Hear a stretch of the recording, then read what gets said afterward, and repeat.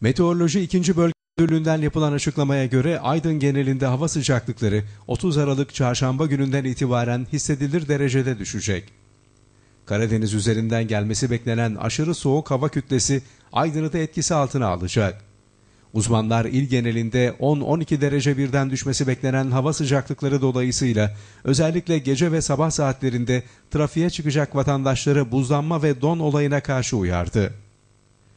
Hafta sonuna kadar sürmesi beklenen aşırı soğuk hava kütlesinin Aydın ilçelerinde de etkili olabileceği bildirildi. Ayrıca kuzey ve kuzeydoğu yönlerinden saatte 50-70 km hızla esmesi beklenen rüzgarın kıyılarda kısa süreli fırtınaya neden olabileceği belirtildi. Yetkililer Aydın il ve ilçelerinde kuvvetli ve kısa süreli fırtına şeklinde etkili olacak rüzgarın çatı uçması, ağaç ve tabela devrilmesi gibi olumsuz etkilerine karşı vatandaşların tedbirli ve dikkatli olması gerektiğini kaydetti.